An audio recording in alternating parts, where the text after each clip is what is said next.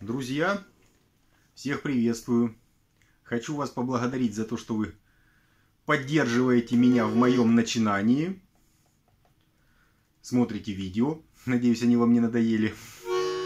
А я продолжаю свое нелегкое обучение игре на данном музыкальном инструменте.